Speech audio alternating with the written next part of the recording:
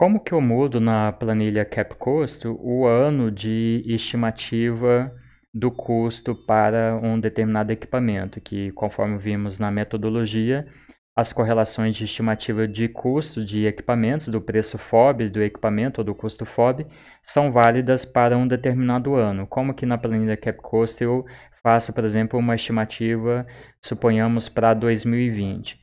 Então a gente vem em Capital Cost Estimation Software, clica aqui nesse botão vermelho e clica na aba adicionar equipamento, vamos colocar, vamos supor aqui uma centrífuga.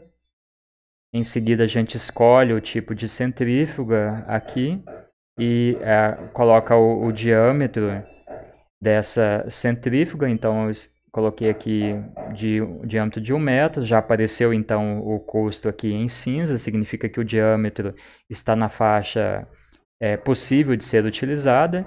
Aqui eu vou especificar se tem equipamento reserva ou não, então vamos supor que sem equipamento reserva e vou dar então aqui finalizar. E aqui eu posso fechar.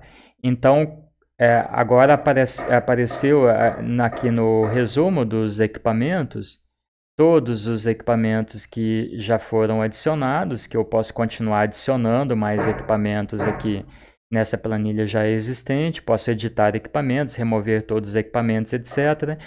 Eu posso editar, aqui é o número da unidade, isso vai, tem a ver com o impacto aqui da tag do equipamento, né? vejam que todos começam com 100, porque tem a ver com esse valor que é colocado aqui, então essa é a unidade 100, e assim eu posso ir numerando cada unidade é, de, de, números diferentes, né? unidade 100, por exemplo, separação, sei lá, unidade 100, craqueamento catalítico, unidade 200, reforma catalítica, unidade 300, é, é, armazenamento e assim por diante.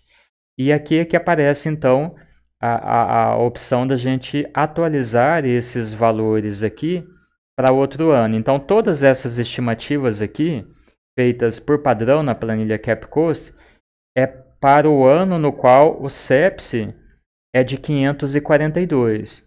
Daí vamos supor que eu queira, queira fazer a estimativa para final de 2020, cujo CEPSE foi de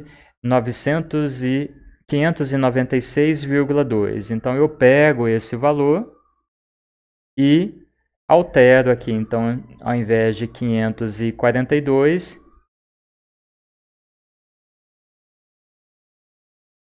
mudar aqui para ponto, 500 96.2, aliás, é, é, é vírgula mesmo, porque meu Excel aqui está em português.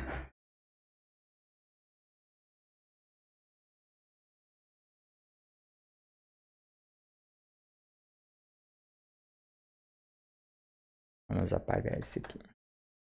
Então aqui a gente já tem ó, os valores ó, atualizados para o ano de final de 2020. Então basta alterar o CEPS aqui e todos os valores aqui são atualizados é, automaticamente.